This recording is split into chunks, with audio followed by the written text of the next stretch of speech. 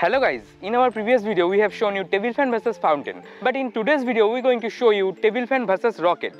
Guys, just look at this table fan. This is so powerful and today we're going to see what will happen if we attach rocket on the blades of this fan and lit a fire on the rockets and we're going to find out can the rocket spin the fan blade or not.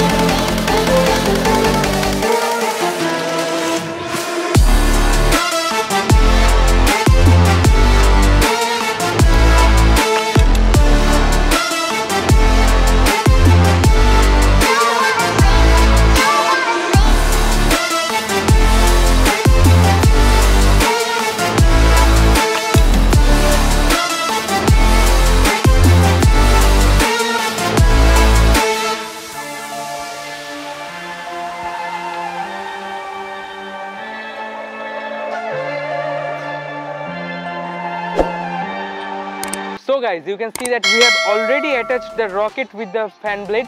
Now let's lit up the rocket.